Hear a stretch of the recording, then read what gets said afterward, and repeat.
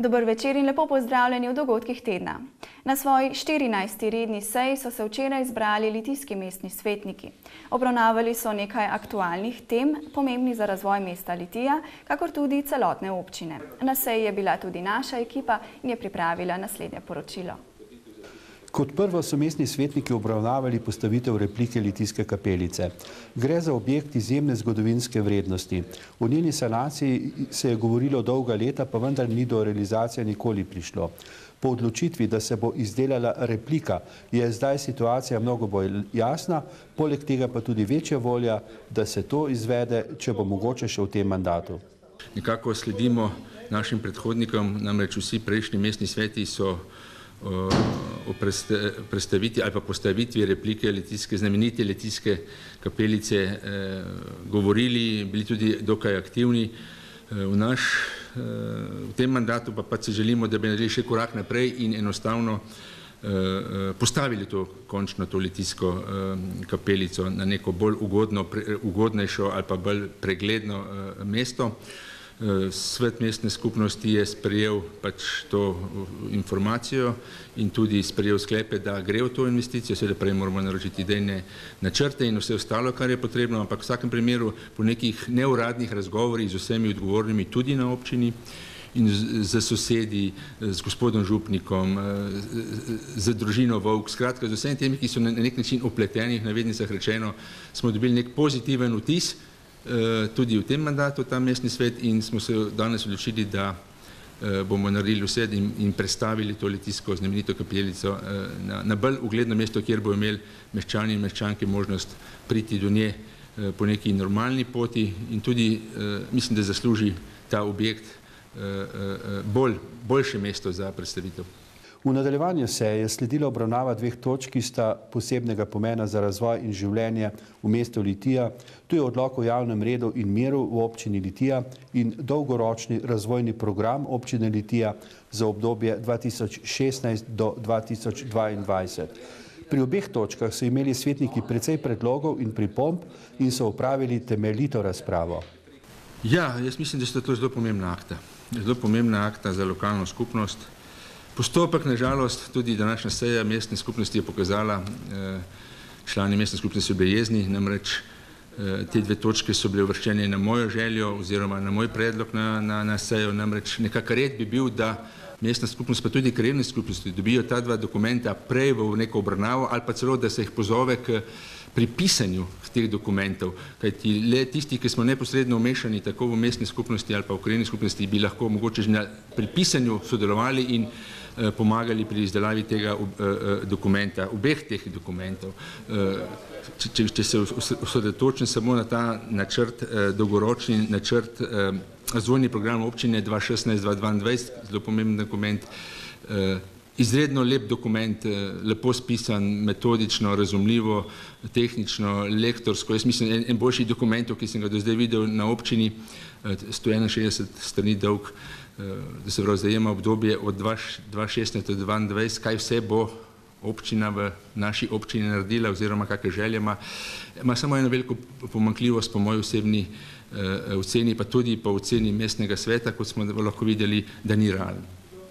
Mi ocenjujemo, da dokument, kot sem že rekel, prav, da nastaja, ampak da je problem v tem, ko nismo bili pri pisanju zraven in pa sam zdaj dokument kaže, da ni realen, predvsem zato, ker vemo, da smo na polovici mandata, iz izkušenj lahko tudi povem, da vsak novi župan ali pa vsak nov mandat župan naredi na novo nov razvojni program po svojih željah, po željah svojih novih svetnikov, novih koalicij, zato bo naš predlog tudi ta, da predlog občini, da se osredotoči predvsem na prvi dve leti tega dolgoročnega plana in da nekako skupaj probamo sestaviti neko realnost, kaj lahko v letu dva šestnajst, še bolje rečeno dva sedemnajst-dva osemnajst do konca mandata resnično v občini ali pa predvsem, kar se nas tiče v mestu, še naredimo, glede na to, da finančna situacija se ni nič spreminjala na boljše, saj mi nimamo teh podatkov, in to je naša glavna zamerka, da nismo bili zraven oziroma kritika temu programu, da nismo bili zraven pri nastajanju, čeprav zdaj obljubljajo odgovorni, da bo šel ta dokument v javno razpravo popolnoma pravilno in pa da bodo obveščene tudi krajevne skupnosti, ki to do danes niso. Um, to zameri in pa to, da, da ni realno, kot sem že rekel. Ne. In tle mislim, da smo dolžni do, do predvsem do meščanov in meščank, da, da, da smo realni in mi tudi neke predloge bomo dali, ampak predvsem to, da se uresničijo v prvih dveh letih. Namreč to vidim smisel tega programa, ne pa da se zavezuje občina za leto 19, 20, 2022 celo, ko ne vemo, kaj bo takrat v, v Sloveniji, ko ne vemo takrat, kaj bo leti, ko ne vemo, kdo bo spoh na občini, ko ne vemo, kdo bo v občinskem svetu in tako naprej. Ni korektno do naših zanamcev, če sem pošten. In te, vse te kritike in naše pobude in predloge in tudi pohvale v enem delu, eh, ki smo jih zaznali, bomo seveda poslali na občino z upanjem, da bodo to pregledali podrobno in, in, in seveda popravili akt. Peta točka dnevnega reda je bila obravnava organizacija javne prireditve Golažijada pred športno dvorano. Gre za tradicionalno prireditev, za katero pa se je dosedanji organizator odločil, da je ne bo več pripravil in je organizacijo ponudil mestni skupnosti. Po razpravi je bil spred sklep, da zaradi prekratkega roka mestna skupnost letos pri tem ne bo sodelovala, ampak se jo bo po temeljiti pripravi organiziralo prihodnje leto. Sledila je še točka razno, po njej pa je bila 14. redna seja mestnega sveta končana. Največja investicija, ki jo bo v letošnjem letu izvedla občina Šmartno pri Litiji, je tik pred začetkom izvedbe. Gre za sanacijo in posodobitev Litijske ceste, ki je trenutno v zelo slabem stanju. Občina je za ta namen pridobila tudi državna sredstva, sanacija pa bo temeljita, kar pomeni tudi ureditev podzemnih infrastrukturnih vodov. Med izvajanjem del bo cesta zaprta, več o tem, kako bodo urejeni obvozi, je povedal Aleš Krže. No, po podpisu pogodbe so se začele aktivnosti v zvezi z začetkom eh, rekonstrukcije Litijske ceste z gradnjo eh, kanalizacije, obnove vodovoda in javne razsvetljave. Dejansko se bodo dela pričela v ponedeljek 26. septembra. Takrat se bo tudi eh, prva faza izvedbe začela, se pravi od uh, križišča z regionalno cesto v dolžini crka 88 metrov. To bo prva faza, tudi ta bo zaprta. Z izvajalcem je dogovorjeno, da se eh, poizkuša uh, dela izvajati fazno, tako da bo čim manj težav na cestah. Računa se, da bi bila večina oziroma v primeru dobrega vremena večina del upravljena do konca letošnjega leta, tako da bo možna Eh, da bo možen prehod eh, preko litijske ceste, mogoče še ne v asfaltni izvedbi. In uh, v, se pravi, konec leta ali pa v začetku naslednjega leta, pa naj bi bila litijska cesta zaključena.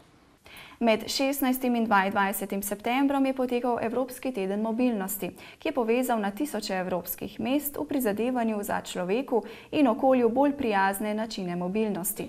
V ta namen je bila v sredo v Litiji prireditev, ki so ji dali ime Dan brez avtomobila, na kateri so sodelovali vsi tisti, ki imajo na promet neposredni vpliv. V prvi vrsti želimo eh, predvsem obeležiti ta teden mobilnosti, ki je Evropski teden mobilnosti eh, in pa predvsem eh, želimo predstaviti tudi to celostno prometno strategijo, ki jo pripravlja občina Litija. Namreč v tej prometni strategiji predvsem želimo doseči to, da bo naša naša pomekla prometna ureditev varna in pa predvsem tudi eh, prijazna nam, ljudem, se pravi tisti, ki živimo v enem okolju. In eh, danes, če rečemo, eh, kakšno naj bi bilo to prijazno bivanje, mislim, da predvsem si ne želimo ogromno uh, avtomobilov, ogromno uh, prometa spuščati v taka mesta uh, in pa več poti, ki bodo namenjeni rekreaciju, zdravemu načinu življenja v mestih. Se pravi, želimo si več kolesarskih poti in pa varnih poti v šolo. Danes pa predvsem gledamo na to, kako bomo urejevali parkirišča in s tem v bistvu dosežemo glih nasprotni učinek, se pravi, imamo več pločevine, več avtomobilov ampak seveda vse je treba delati uravnoteženo, kajti razvoja brez avtomobilov pa tudi ni. Ja, predvsem sporočamo oziroma želimo pokazati, kako zgleda mesto Litija ali pa tudi kakšno, kakšna vas, kako zgleda, če omejimo nek promet ki se vsakodnevno odvija po neki cesti. Mi smo danes zaprli cesto komandanta Staneta in otroci in vsi meščani so imeli možnost videti, kako lušno je ob tej in na tej cesti, kako varno je, če ni motornih vozil. Ne. To je tisto glavno sporočilo. Predvsem pa je pomembno to, da so pešci, kolesari, skratka vsi udeleženci v prometu, predvsem najbolj ranljive skupine, čim bolj varni. Ne? To je bistvo.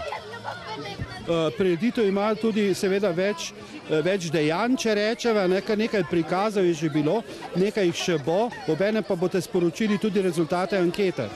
Tako je, rezultate ankete bomo sporočili, upravili bomo žreb, podeljene bodo lepe nagrade.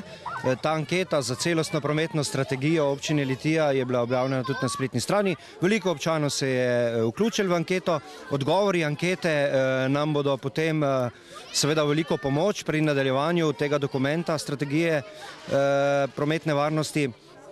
Dogajalo se je že marsikaj, naši reševalci, gasilci so prikazali reševanje iz vozila, otroci so imeli velika, velike oči in ušesa.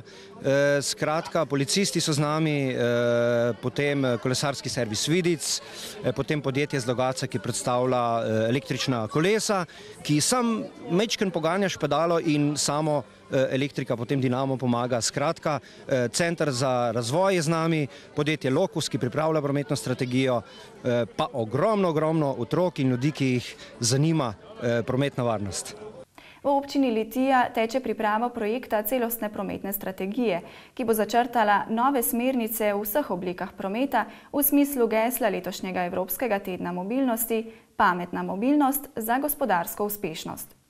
Kakšna je specifika mesta Litija in celotne občine, je povedal pripravljalec študije, predstavnik podjetja Lokus, Leon Kobetič. Ponavadi rečemo, da je Slovenija specifična, pa da so občine tudi specifične, ampak občina Litija ima neki značilnosti, ki jih sicer morda ima še nekatere občine, ampak so občina Litija je drugačna. Ima eno samo v resnici mesto ne, in zelo, zelo razpršeno poselitev, ne, veliko drobnih malih naselij ne, in je uh, elemente trajnostne mobilnosti zaradi tega težje upeljevati. Elementi trajnostne mobilnosti je lažje upeljevati tam, kjer je koncentracija prebivalcev visoka. Uh, Medtem, ko je na razpršeni poselitvi, smo pa ljudje dejansko in tudi v bodočnosti bomo pretežno odvisni od, uh, od uh, avtomobila. Zato je to nekoliko težje. Ne. Preprosto nekatere stvari, ne, predvsem javni potniški promet v, v, na območjih redke poselitve niso rentabilni, ne. zato je treba najti inovativne, inovativne pristope v tem pogledu. V sredo je bil svetovni dan Alzheimerjeve bolezni, ki je najpogostejši vzrok demence. Z demenco se označuje skupek bolezenskih znakov od moten spomina do zmanjšane sposobnosti orientacije in razumevanja. V Sloveniji je za demenco obolelih okoli 30 tisoč ljudi. Po napovedih strokovnjakov pa se bo to število v prihodnjih 20 letih podvojilo. Ta dan so obeležili tudi v domu Tisje, enota Litija, tako da so se njihovi stanovalci sprehodili do Valvazorjevega trga, kjer so prisluhnili krajšemu programu in se prijetno družili. Um, ja, danes je dan Alzheimerjeve demence, 21. september, svetovni dan. Potekajo podobne akcije, kot je naša po celi Sloveniji. Z njimi sporočamo, da so tudi ljudje, ki imajo demenco, še vedno ljudje, da jih je treba spoštovati, da jim je treba zagotavljati dostojanstvo in da smo mi tisti, ki smo še zdravi, tisti, ki jim lahko vse to nudimo.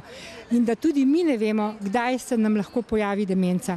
Zato smo zelo veseli, danes je z nami zelo veliko prostovoljcev svojcev, članov društva upokojencev Litija in seveda tudi zaposlenih, da lahko potem to akcijo res kvalitetno izvedemo, tako kot smo si jo zamislili.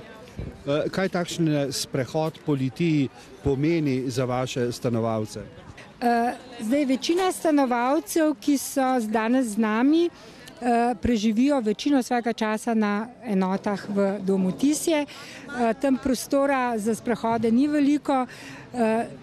Zdaj so šli lahko ven, pogledali si bojo tudi uh, litijo, ki jo ne poznajo. popestritev njihovega življenja in konec koncev tudi ena rekreacija, ena aktivnost, ki jo potrebujejo ti ljudje.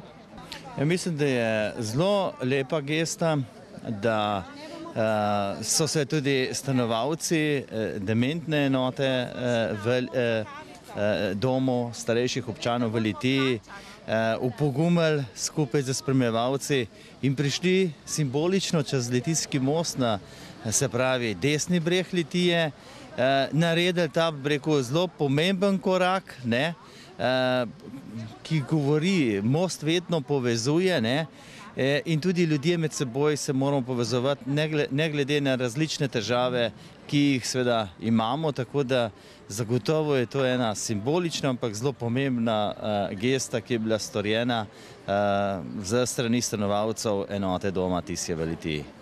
No, je pa razveseljivo tudi videti, ne, da je dom Tisje enota v Litiji nekako polna stanovalcev, torej vse kapacitete so domala zasedene. Zagotovo je to zelo dobro breko sporočilo, predvsem tem delu, da ta infrastruktura, za katero je zagotovo bilo vloženo veliko sredstev, služi svojemu namenu in jaz si samo želim, da bi tako tudi ustalo v prihodnje in upam, da tudi bo. Knjižnica Litija je v torek za vse pridne bravce, ki so vzeli v roke knjigo tudi med počitnicami, pripravila zaključno prireditev akcije Poletavci, poletni bravci. Na njej so vsem, ki so v tej akciji sodelovali, podelili priznanje in nagrade za še bolj prijetno razpoloženje. Na koncu pa so si ogledali ulično gledališko predstavo Kozlovska sodba v Višnji gori. Številka poletavcev se je uh, ponovila, se pravi, akcija ima enak uspeh kot lani, imamo 71 mladih bravcev, s tem, da se je letos akcija strukturirala na mlajše poletavce in na tiste najstnike, torej najpoletavce. Prav zaradi teh smo zelo veseli, ker vemo, da naši najstniki zelo malo oziroma nič berejo. Pa kaj pravzaprav botruje tej akciji, zakaj takšen uspeh, takšna priljubljenost? Verjetno je razlog v tem, ker skupaj uh, stopi več uh, sodelujočih. Najprej je seveda treba otroke navdušiti, da svoje branje med počitnicami beležejo oziroma da se načrtno spravljajo k prebiranju. In tukaj jih spodbujamo starši, tudi učiteljice in knjižničarke ob koncu šolskega leta in pa seveda ta naša matična oziroma osrednja knjižnica, ki jim to akcijo polega letavci skupaj z drugimi slovenskimi knjižnicami pripravi. Eh, svoj mik pa seveda dodajo tudi nagrade, ker brez motiviranosti eh, očitno tudi branje danes ne gre več kar samo od sebe. V ponedeljek društvo Lila vabi na dan odprtih vrat. Društvo Lila se je namreč junija preselilo iz Šmartnega v kulturni center Litija. Lila učilnico in Lila atelje pod odrom bodo naselili z veseljem in ustvarjalnostjo, zato vas vabijo, da se jim pridružite. Ostanite na našem programu. Mi bomo z vami spet prihodnji teden. Lahko noč.